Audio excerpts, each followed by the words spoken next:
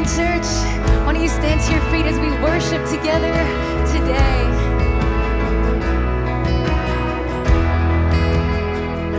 I cast my mind. I cast my mind to Calvary, where Jesus bled and died for me. I see his hands, his feet, my Savior, all that cursed tree, his body bound, his body bound, and drenched in tears, they lay.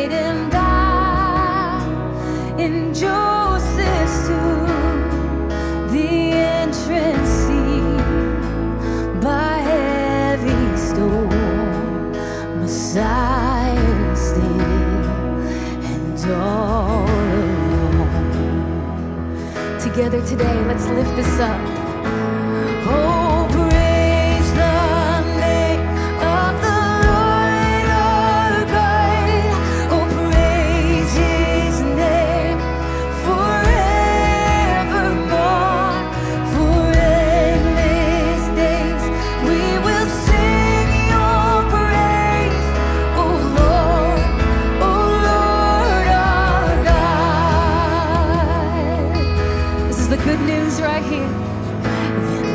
another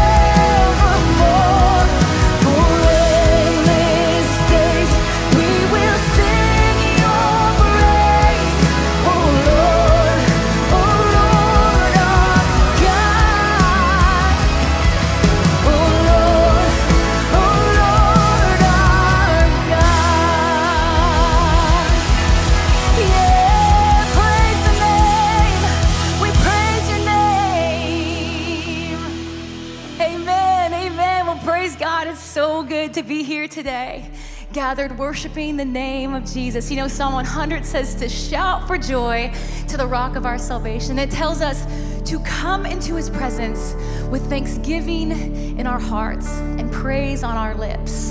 So, together today, let's continue to lift our worship to Jesus.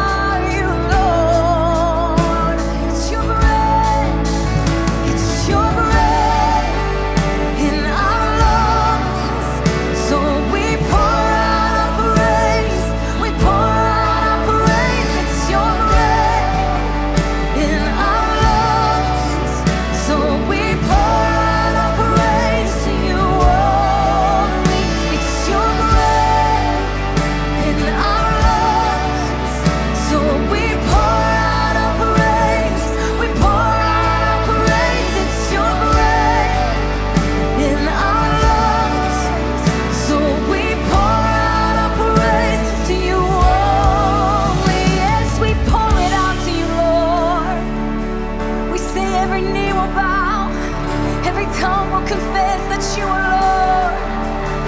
Come on, together today, let's declare across this place that all the earth will shout your praise. Our hearts will cry, these bones will sing, Great are you, Lord. All the earth will shout your praise. Our hearts will cry, these bones will sing.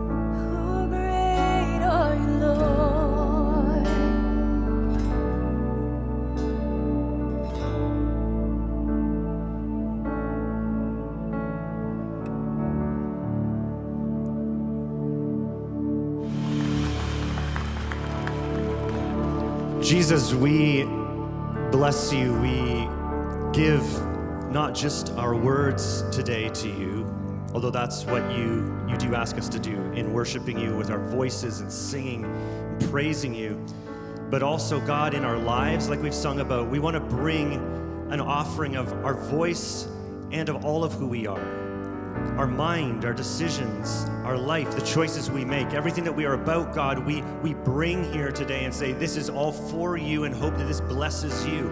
And God, the, the beauty of this is that both in voice and indeed, you are the one who gives us these things, anyways. And all we do is we just turn this back to you. You give us voice, you give us the breath in our lungs, and we just turn that back around and we just say, You have it back. We want to bless you with what you've given us in our voice. And then with our lives, we do the same. You give us everything that we have, and we just say, Thank you, thank you, but we, we give it back to you, God. We give all of our life back to you in praise and worship to you. So, God, would you accept the offering that we bring you as Village Church here? Would you accept that from all of us? Would that be honoring to you in your name, Jesus? We pray this. We pray all of this. Just, just in your name, God. You're so great. Amen. Well, welcome to Village Church. I'm so glad that you are here. My name is Jeremy, Senior Pastor of Village Church. You can have a seat. Uh, this is an exciting day because what we get to do, what I get to do, is introduce to you a couple of amazing people who are joining our team. That is Brooke and Steve here on our stage. You see, why don't we give them a hand? We're joining our team. Come on, step up a little closer here. So, um, at Village Church, we have seven locations, and across all of these locations, we have various expressions of music and worship and, and services. Sometimes that looks like weekend services with live music, sometimes that looks like worship events and worship nights and things. And as we continue to build that as a priority across all of our locations across the country, uh, it's important that we invest and we add into the team because frankly, we have one person in our entire staff who is full time in as a worship leader, and that's Shiloh. Who does an incredible job. And so, as we are dreaming, we've been thinking about how can we add to this team for the future here, Village Church, uh, across all of our sites and building up this culture of worship here in our country.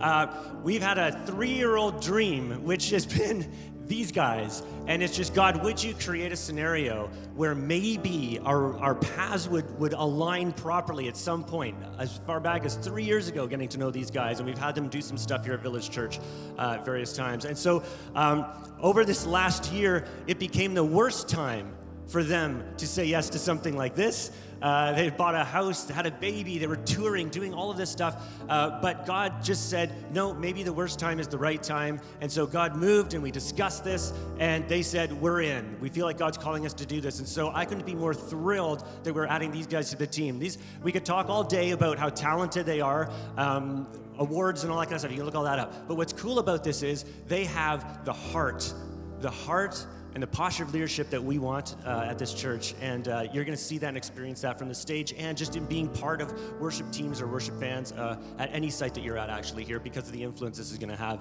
So we're adding both of them, just to be clear. Okay, so we have like award winning singer, worship leader, and we have award winning musical producer, and we get both of them, and they're both joining our team. So I couldn't be more excited about that. So let's give it up for Brooke and Steve. And uh, maybe we just let's pray for you. Let's pray for you in this. Um, why don't you come a little closer here? Uh, pray for you in this because um, this is a big move, and there's there's lots that you got to figure out still. And uh, uh, we want God to be in this, and want God to give you everything uh, that you guys needed for your family for this to go to go smoothly. And you know, so let's let's let's pray for Brooke and Steve together. God, thank you how you just write stories, and we don't even know sometimes what you're writing or what those timelines are and what chapter we're in.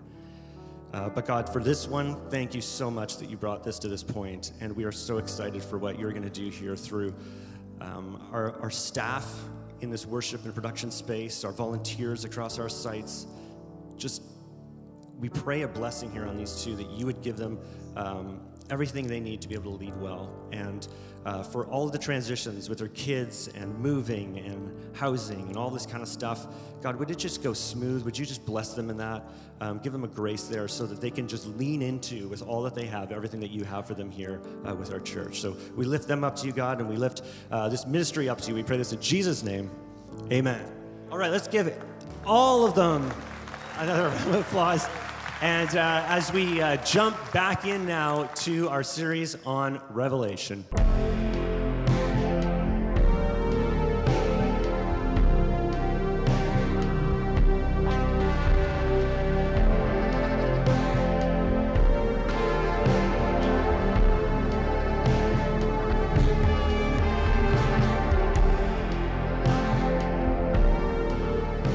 Well, good morning, everyone.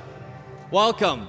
Hope you've enjoyed the book of Revelation. My name is Victor, one of the pastors here on staff. It has been, to be honest, a little bit trippy so far. Just the first few weeks we've galloped through this book. We've seen a lot of imagery of Jesus with multiple eyes, some horns, lamb. We've seen creatures with faces of ox, eagles, human faces. And I'm going to be honest, it probably gets even a little more intense as we go.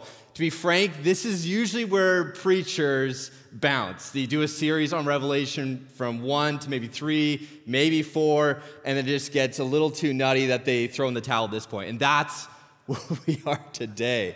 Uh, chapter four and five, we're going to go right into six, we're going to go into seven, and we're going to do a little bit of eight. So we got a lot of material to go through. But just to give you a little bit of a recap, I know we've only just started, but it's important because there's so much content. Chapter 4, what will happen is really critical to our text today is John has this vision. He gets, he gets allowed to see things, and Jesus kind of reveals things about what's going on in history. And he gets this sneak peek into heaven. It says the doors of heaven are open. So he looks into heaven, and what he sees is he sees a throne. God on the throne, 24 little thrones around him of the elders worshiping him. There is creatures, these wild creatures with multiple faces representing creation, also worshiping him. It's this incredible spectacle happening.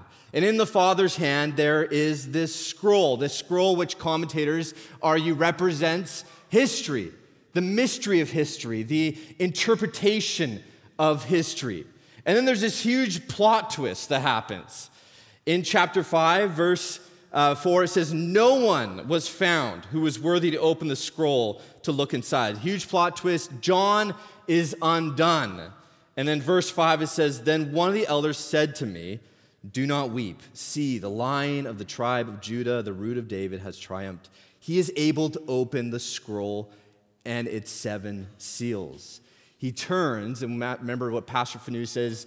John turns to see the, la- the lion, and he turns, and there is a slain lamb instead. And verse 9 says, You are worthy to take the scroll and break its seals and open it. For you were slaughtered, and your blood has ransomed people for God, for every tribe and language and people and nation. So we see this, the cosmic implications of the cross. Jesus dying and being slaughtered on the cross isn't just about you and him and having forgiveness and being reconciled to the Father. It has universal implications.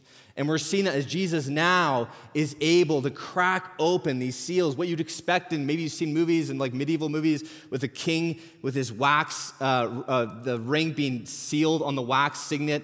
And that would be what we'd see seven of those on this scroll. So we have two chapters to cover, a lot of material. And the first chapter kind of outlines these seals. Chapter 6. And just to give you kind of a bird's eye view of what's happening here, these are all the seals. Seals 1 to 4, we see the four living creatures crying out, Come to God. Seal 5 is the disciples and martyrs, those who have died for his name's sake, saying, How long, O Lord? And then seal 6, interesting, we'll get into this. Unbelievers crying out to the mountains, Fall on us and hide us. And then there's this climax in chapter 8, the silence as the prayers of the saints ascend to the throne. Let's tackle this guy first, these first four uh, seals. Common to many of us would have been the four horsemen.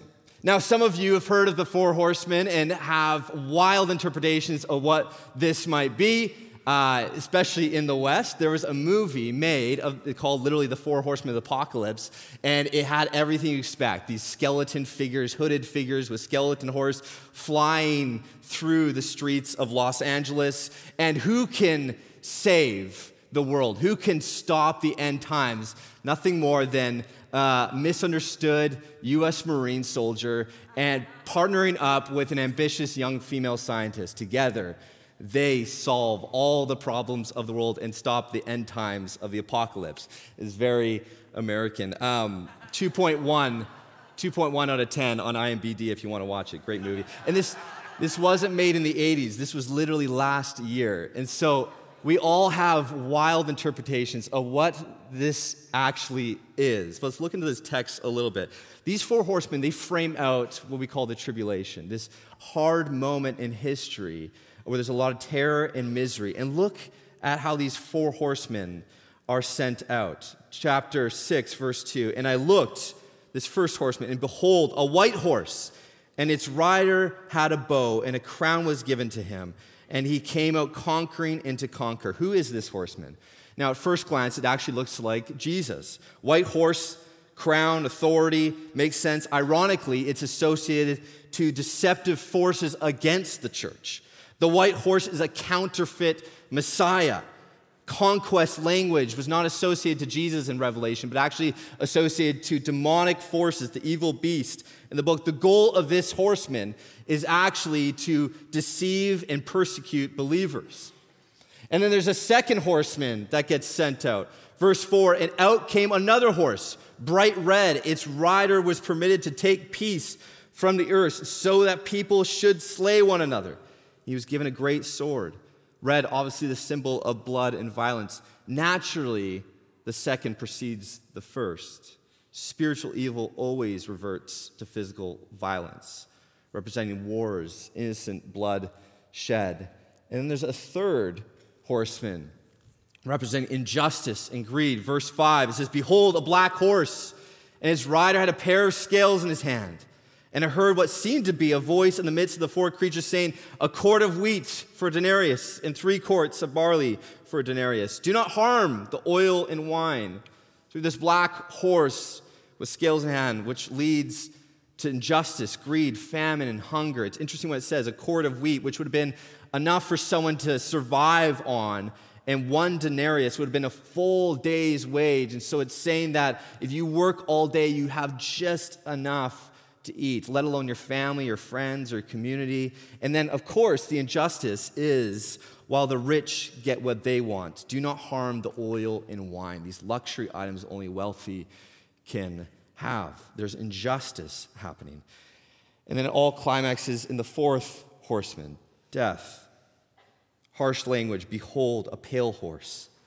And its rider name was Death, and Hades followed him and they were given authority over the fourth of the earth to kill with sword and with famine, with pers- uh, pestilence, and by wild beasts on the earth. Hades, obviously representing the grave, the depiction of the grave now personified, riding through the earth, gathering up bodies and corpses. This is intense imagery of these four horsemen.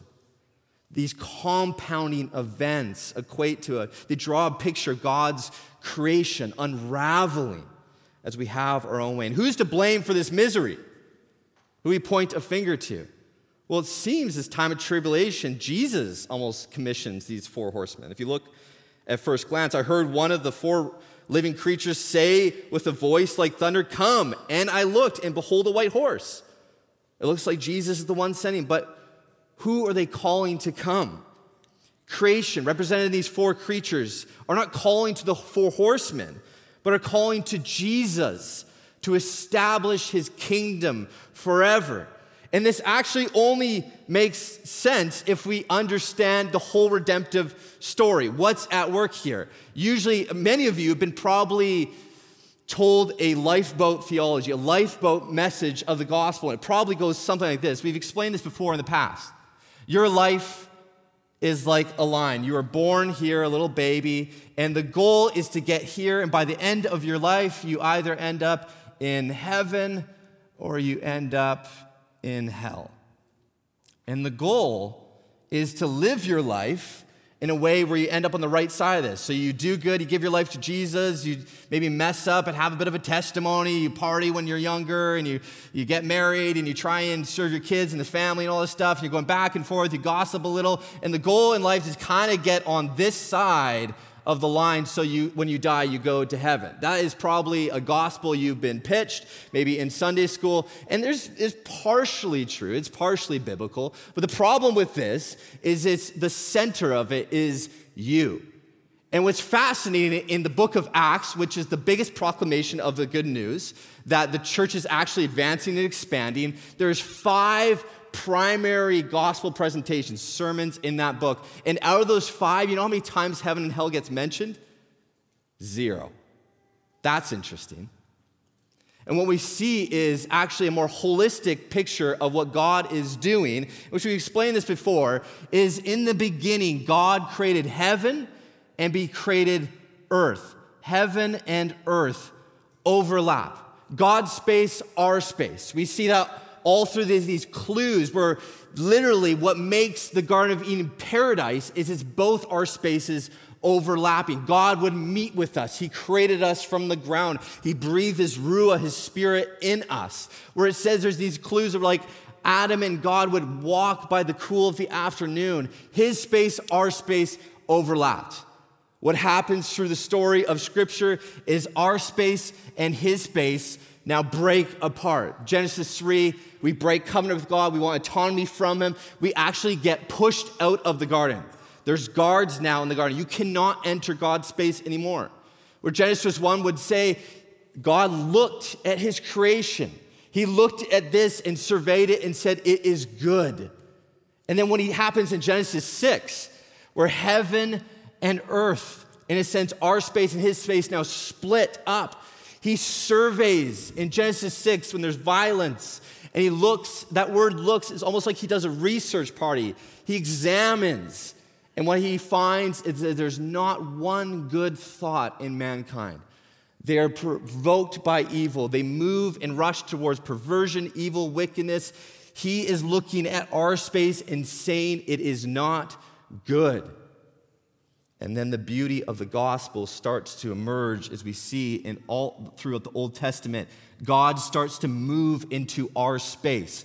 This space here becomes a clean space. There'd be the idea of the tabernacle, the temple, where we could actually enter into God's space, making ourselves white. Right? Priests would have to wash themselves, cleanse themselves, sacrifice animals so they could enter into God's space to meet with Him. The temple would literally have images and statues that would remind us back at this space, fruit trees of the garden, the paradise, of what it meant to have our space and God's space together again. Ultimately, the finality of this is Jesus. Jesus actually takes on flesh, comes into this space where we can meet him, approach the throne boldly. We can actually come and touch Jesus, experience him, talk to him. And the beauty of the gospel is what we always don't see is what happens when Jesus enters his space. What's the thing he proclaims? Mark 1:15, "The time is fulfilled, the kingdom of God is at hand. Repent and believe in the gospel." God is not just interested in making small, clean space for us. He is beginning to advance his kingdom back into our space. You know, there's five gospel presentations in Acts that we hear. You know how many times heaven and hell is mentioned? Zero. You know how many times Christ is king, his lordship is mentioned? 11. The whole centerpiece this whole thing is that Jesus is king and is moving his kingdom into our space. And he invites us into it. Not to just be reconciled to the Father, not to be forgiven of sins, but actually participate in his kingdom, to be given the ministry of reconciliation, to actually be compassionate, sacrificial, loving, kind, giving ourselves over, as Jeremy said, to this cause. Giving our life back to Him, what He has given to Him, that one day, which we're going to see in Revelation 21, that our space, in God's space, reunite once again, that He is the center of it. It is better than the garden. When it was displayed as a garden, He says, is a city now. That heaven and earth are reestablished together. That's the redemptive story. And that is the backdrop we need to see as we look at this because as Jesus is breaking these seals, these seven seals, one after the next, after the next, there is an inbreaking of his kingdom moving forward into our space. The flow of misery that we saw with these horsemen only happens because there is resistance to that. It is not Jesus just sending out horsemen, it is God advancing his kingdom, and there is strong pushback. Where Darrell Johnson says the four horsemen represent the kind of things that happen when Jesus and his kingdom begin to press in our world. Not that Jesus coming causes the misery and terror, but when Jesus and his kingdom, when the Lamb in his way come, there is resistance and opposition resulting in misery and terror. And we often see this tribulation as a set period of time in the future, and there's probably some truth to that. But in many ways, it started on Christmas Day when Jesus took on flesh and began proclaiming the kingdom is at hand, because it doesn't take a theologian to hear the hooves of the four horsemen pounding the surface of our globe today. Like violence, as much as we thought we were progressive and moving towards a utopia, that we'd solve racism, we'd solve, you know, violence against other nations, we'd be all see each other as equals. Yet the 20th century was the bloodiest century in history. 60 million people died. Greed, we all know the waters of the ocean are being overfished because of greed. We can gain more money and we don't care, but land too. The UN just recently stated an additional 16 million square kilometers will be degraded, unfarmable, by 2050. This is an area the size of South America. Death. Nearly 30 million disciples of Jesus were martyred in the 20th century. Bruce Malign cites a projection by some missiologists that in this century, one out of 200 disciples will die for Jesus. This is what Scot McKnight kind of explains of this resistance, this force, this thing under the surface. He equates it to Babylon. That's how he encompasses this idea. He argues that if we want to live the message of Revelation today, we need to develop eyes to discern Babylon's power, violence, and injustice in the midst today. We must recognize the Babylon all around us. Not some conspiracy theory way of thinking, but the question is are you even aware? Are you even attuned to these things? If God gives the gift of discernment to the church, are we looking? Are we watching? Not just even on a global scale, but as you drive through your neighborhoods. What do you feel? What do you sense? What C.S. Lewis writes, one of the things that surprised me when I first read the New Testament seriously was it talks so much about dark power in the universe, a mighty evil spirit who is held by the power behind death, disease, and sin, enemy occupied territory. That is what the world is. Christianity is a story of how the rightful king has landed. You might say landed in disguise and is calling us all to take part in this great campaign of sabotage. Do you drive through Vancouver, Calgary, Toronto? You think about even Vancouver, you drive through these streets. Do you just think about the good ramen, the ocean views? Or are you like Paul? You enter into Athens. It says his spirit was provoked with him as he saw the city was full of idols. And you want to know the clues? You want to know what it looks like to discern? Just look at the people. Look at the fathers and the mothers. Look at the coworkers. Look at the business partners. Look at friends.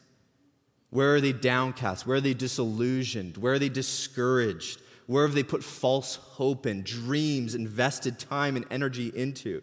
Well, one author says idols always break the hearts of their worshipers. What are the clues you can see in your own city? Are the problems maybe deeper than just bad government and voting right? Maybe they're deeper than be knowing that there's dangers and parameters to technology that's emerging, deeper than just being uninformed on social issues. There's things bubbling on the surface that we can be attentive to. So, what do we do? What's our responsibility? How do we engage? It's interesting. You actually look at these seals, you notice a trend. Seals one to four, four living creatures crying out, Come. Seal five, disciples, martyrs crying out, How long, O Lord? Seal six is fascinating. Seal six, which we'll see here. When he opened the sixth seal, I looked, and behold, there was a great earthquake. It's, this thing is loaded with Old Testament imagery. Great earthquake would have been Haggai 2. And the sun became black as sackcloth. The full moon became like blood. That's Joel 2. And the stars of the sky fell into the earth as a fig tree sheds its winter fruit. That's Isaiah, shaken by a great gale. And then the sky vanished like a scroll. Again, another Isaiah reference. And every mountain and island was moved from its place the original audience, the original hearers would have known all this Old Testament imagery, and they would have known that this is familiar imagery to draw a picture of idolatry flushed out to its furthest degree. This is what it looks like when you don't want God. You don't want God? Okay, be God. I'll step back and let you try and hold it all together. Since you cannot, God's creation unravels. That's what we see on the sixth seal. That is finally what the wrath of God is, what the wrath of the Lamb is. Not throwing thunderbolts or sending horsemen, but finally letting us have our own way. That is the horseman.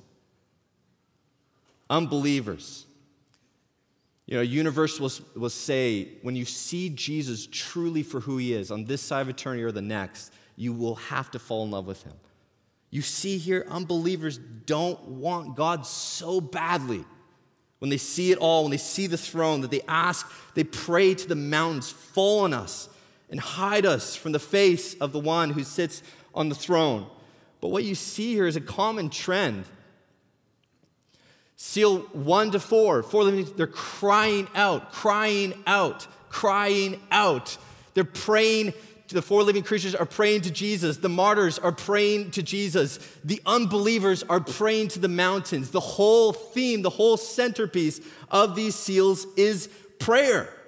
It's all prayer. Every seal is broken, kingdom in breaking. The primary culprit, prayer. Jacques Ellul says the Christian who prays acts more effectively and more decisively on society than the person who politically involved with all sincerity of faith put in that involvement.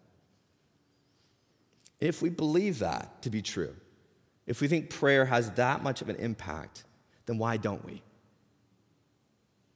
Think of your life. Think about how you participate. I think it's because of the sobering silence that prayer brings. What Dallas Willard says silence is frightening because it strips us like nothing else does, throwing us on the stark realities of our life. What if you stripped away the sermons, the worship, the community groups, the conversations about God, the content about God? What if it turns out there's actually very little to just you and God?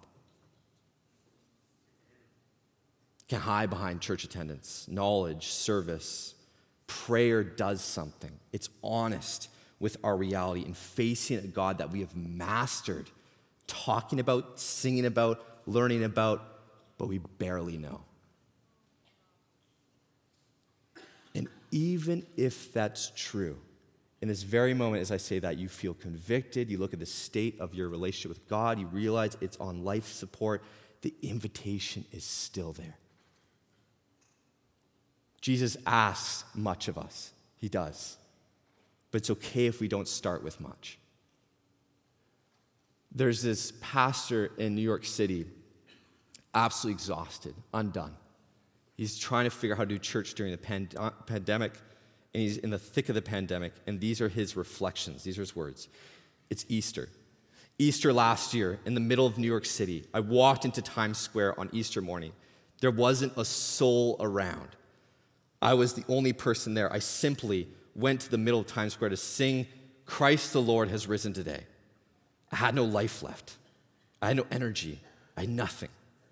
But I said, All I want to do, Jesus, I can't control the future. I can't stop the pain in the city, but I just want you to know in the eyes of the principalities and powers, the resistance, I declare the resurrection of Jesus over a city that is dying. Did it do anything? Not that I'm aware of.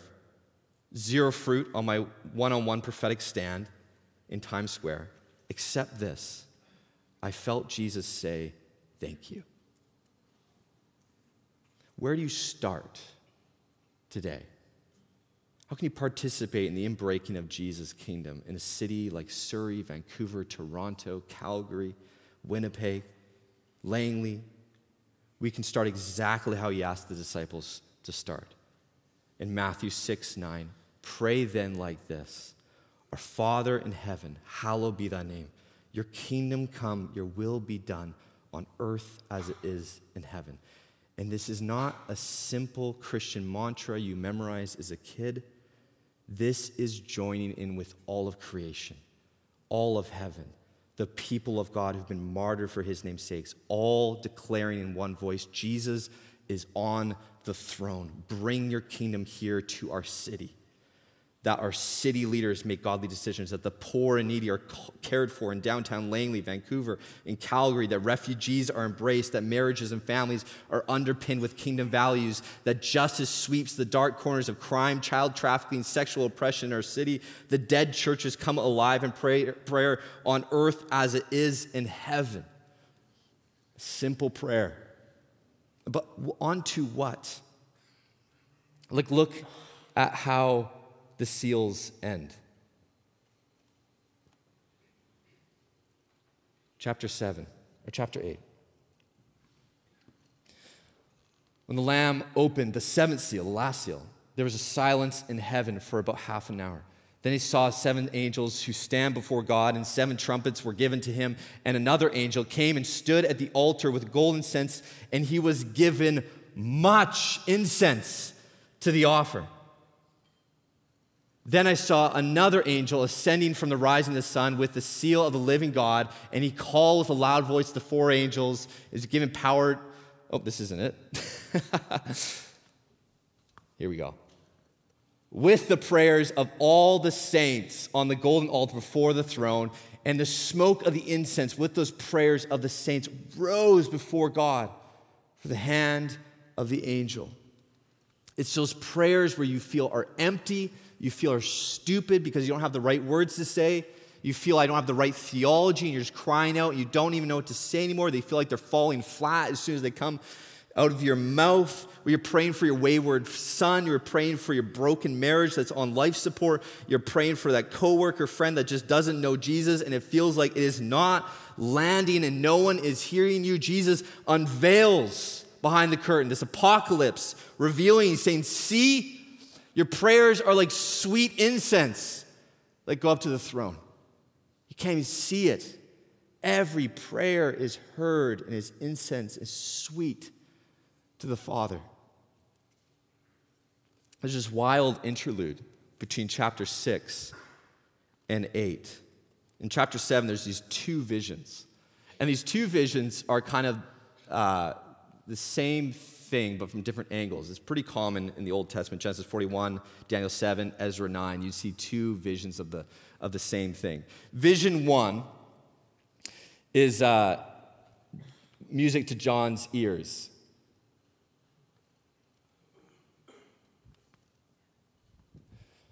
Then I saw another angel ascending from the rising of the sun with the seal of the living God, and he called with a loud voice to the four angels who had been given power to harm the earth and sea, saying, Do not harm the earth or the sea or the trees until we have sealed the servants of our God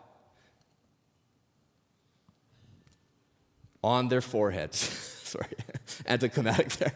And I heard the number of the sealed 144,000 sealed from every tribe of the sons of Israel. Then actually lists out every tribe of Israel, this kind of census that in 12,000 from each of these. This is when music for John's ears. For every Jew, they would have understood this. 144,000 feels like this complete number. It's a short number. I don't know if I made that, but um, 144,000 is a play on numbers. Four, uh, 12 times 12, 12 tribes of Israel is 144. 10 times 10, 10 is a symbol of completion, is a symbol of multitude. So 10 times 10, that's 1,000, 144,000.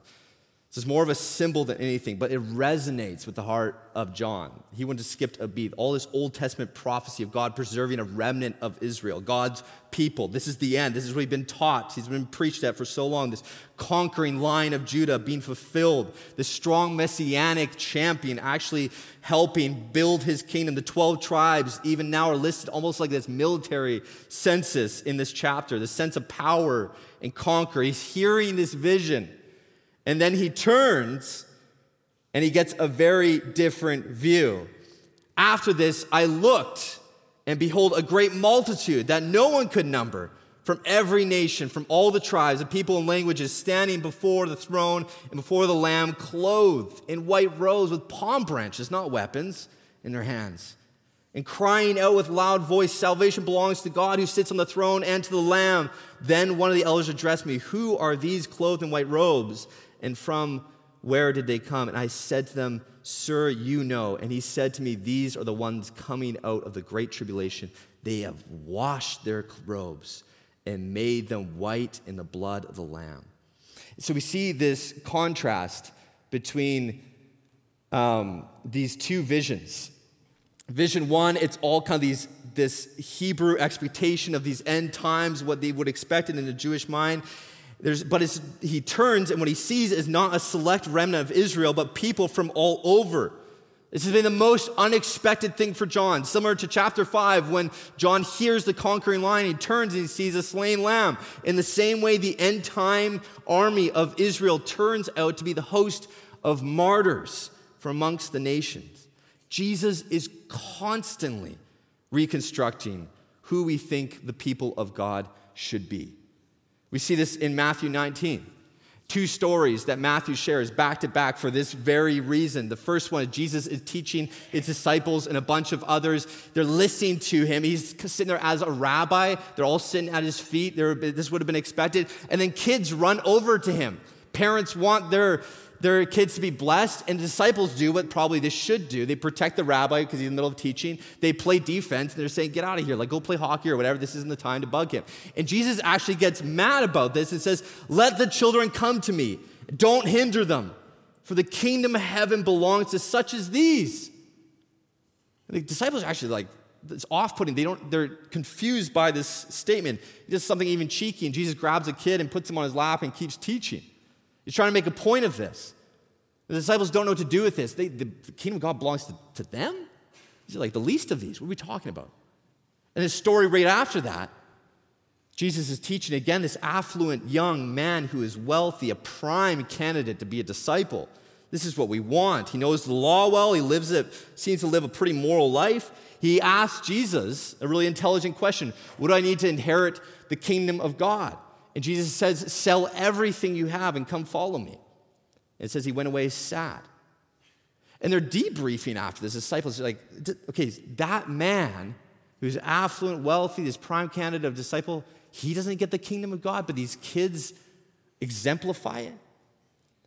Jesus is constantly shaking up who we think is in and out. In the same way, when we think about this great multitude, who we think is in, we can fall into one or two ditches. We can fall into this ditch where it's religion. We think heaven is very empty. There's 14 guys reading Reformed theology, and that's about it. Like, we think it takes a lot to get into heaven. You never admit it, but you think you have to earn it.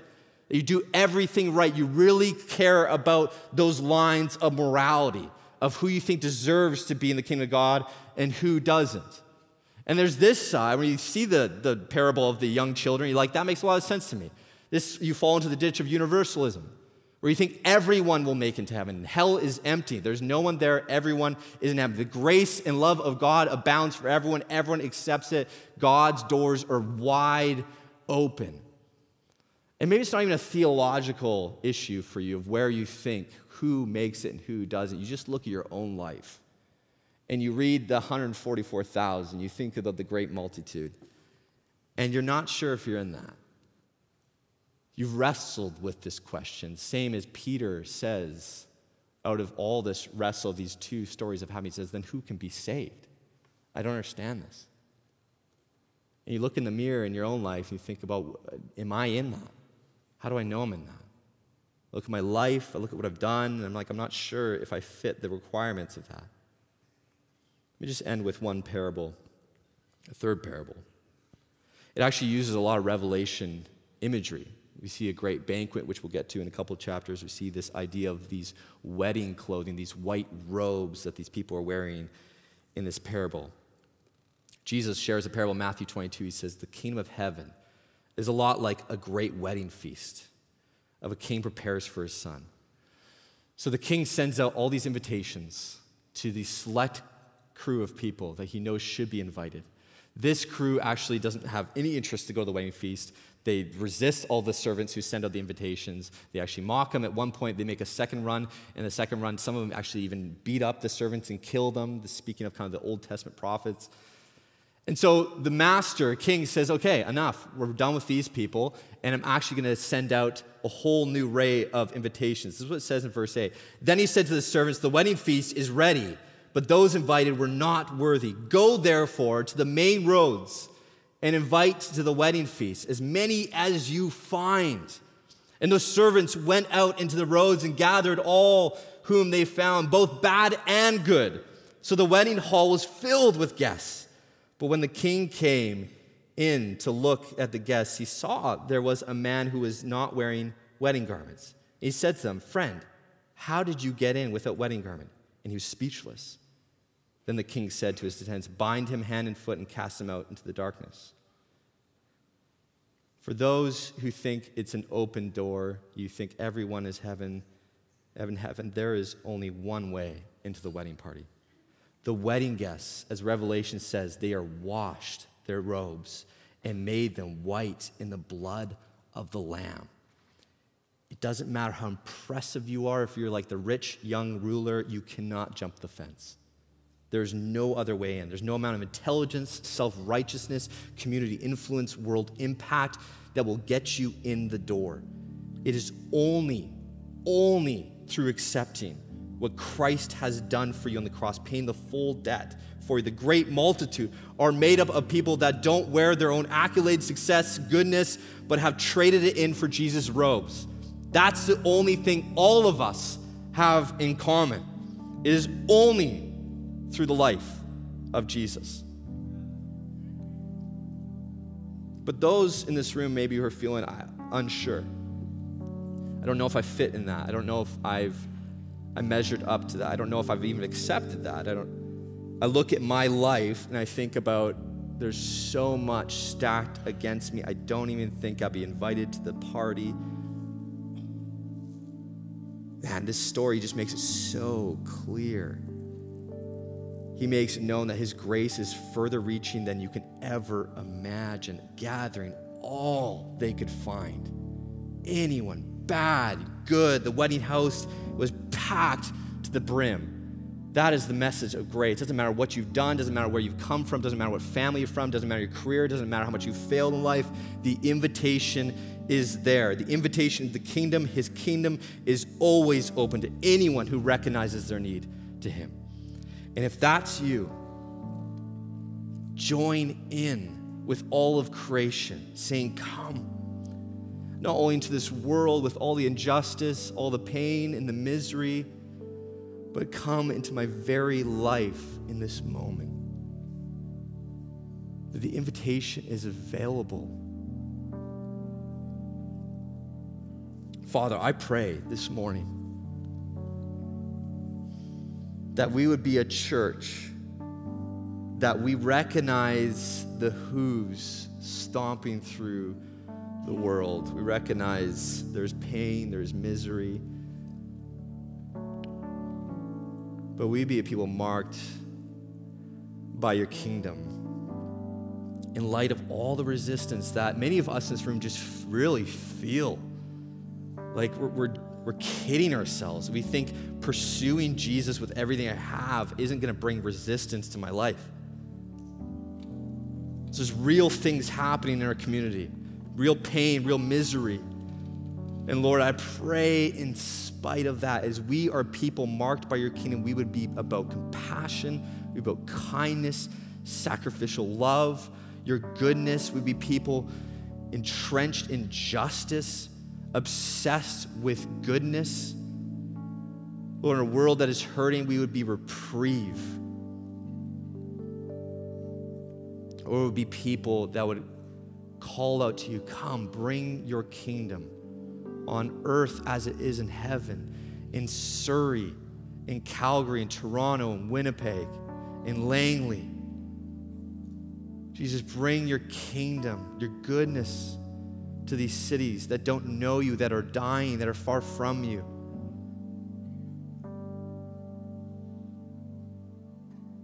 Help us look at our lives, what we bring to the table. Help us be more discerning. For those who just have a, a, dead prayer life, just like I haven't prayed in months, I don't even know how to.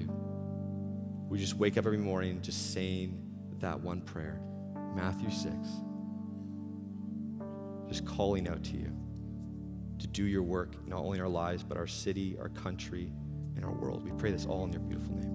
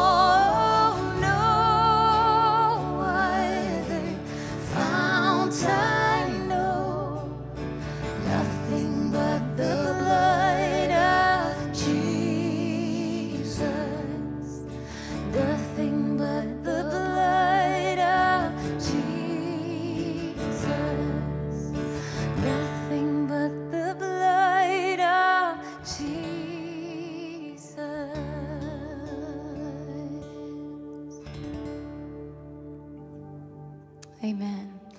Amen. Thank you, Lord, for your presence here today in this place. Church, why don't you stand with us as we just close in worship today?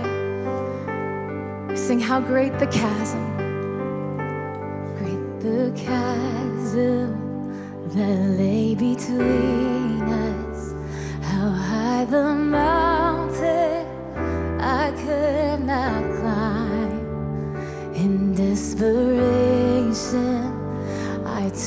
to heaven and spoke your name into